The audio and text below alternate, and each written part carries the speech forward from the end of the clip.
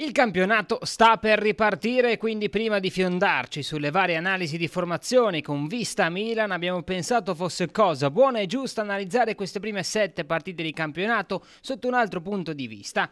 Che l'Udinese stia andando forte lo dicono i numeri, lo racconta la classifica, i bianconeri sono probabilmente la rivelazione di questa prima parte di stagione, ma per comprendere ancora meglio il lavoro svolto da Mr. Runic e il suo staff bisogna andare a vedere da dove era partita questa squadra, soprattutto analizzando e comparando le prime sette gare di questo campionato con le prime sette dell'anno scorso. Un dato è lampante, i 13 punti conquistati portano ad un dato eclatante, più 9 rispetto all'annata scorsa quando la squadra allora allenata da Andrea Sottil era diciassettesima con solo 4 punti ottenuti.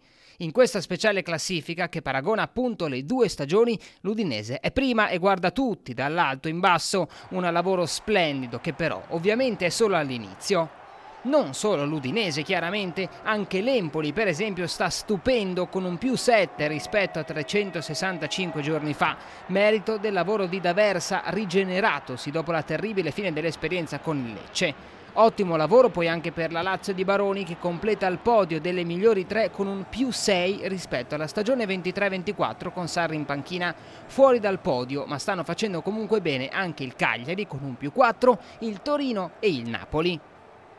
Male invece il Milan, la peggiore, con addirittura 7 punti in meno rispetto ad un anno fa, quando i rossoneri di Pioli, pur contestato, veleggiavano a quota 18 punti.